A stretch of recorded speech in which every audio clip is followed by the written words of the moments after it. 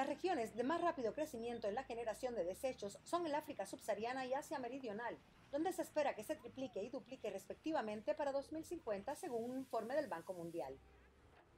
Para entonces, estas regiones producirán el 35% de la basura del mundo. Alrededor del 90% de los desechos de los países de bajos ingresos se arrojan o queman abiertamente, contribuyendo a empeorar la calidad del aire, según el informe. La quema de residuos es un factor clave en el cambio climático. En 2016, el 5% de las emisiones mundiales se generaron a partir del manejo de residuos sólidos. La gestión segura y sostenible de los desechos podría ser un motor para el crecimiento económico, pudiendo crear puestos de trabajo al tiempo que se abordan cuestiones sociales y ambientales según expertos. Nalutando Levaca, una activista ambiental sudafricana, dice que es una buena cosa que el gobierno haya prohibido los plásticos, ya que sabemos que los plásticos no son buenos para nuestro medio ambiente. Creo que el gobierno también debería tener programas que acomoden a la gente, aunque no solo se trate de reciclaje, sino que también puedan apoyarlos para que se dediquen a la agricultura y al procesamiento de alimentos. Tenemos muchos empleos verdes, allí también podrían empoderar a estas personas.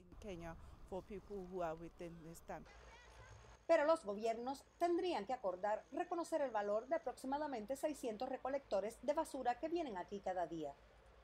La transición hacia una economía más verde requerirá que estos trabajadores informales formen parte de un sistema reconocido que siga las directrices sanitarias y ambientales y que a cambio reciban ingresos y beneficios estatales.